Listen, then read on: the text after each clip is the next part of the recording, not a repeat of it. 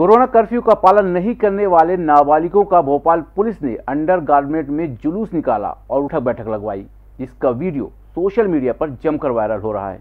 बताया जा रहा है, रविवार को ये सभी बच्चे कोरोना कर्फ्यू होने के बावजूद वीआईपी रोड स्थित बड़े तालाब में नहाने गए थे, जिसके बाद भोपाल पुलिस और गोताखोरों ने बच्चों के कपड़े जब्त कर लिए और अंडरगारमेंट में इनका जुलूस निकाला। इसके बाद उन्होंने बच्चों से सड़क पर परेड करवाई, जिसका वीडियो सोशल मीडिया में जमकर वायरल हो रहा है। वहीं नाबालिग बच्चों को कोरोना कर्फ्यू का पालन न करना भारी पड़ गया। पुलिस की इस कार्रवाई की तमाम लोगों ने आलोचना की। इन बच्चों को पहले भी कई बार तालाब में ना नहाने की सलाह दी गई, लेकिन ये नहीं माने। कई बार लोग यहाँ हादसे का शिकार और हो चुके हैं। वहीं लोग अपनी जान भी गंवा चुके हैं। गृह मंत्री नरोत्तम मिश्रा ने इसको लेकर कहा कि इस विषय को लेकर जानकारी ली जा रही है।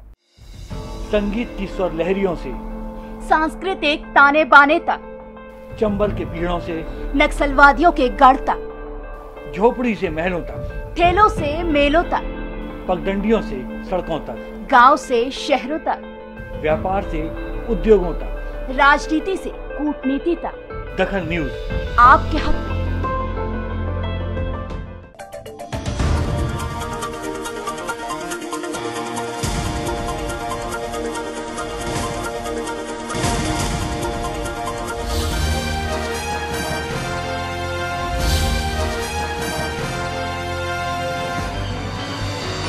आप देख रहे हैं दखल न्यूज़।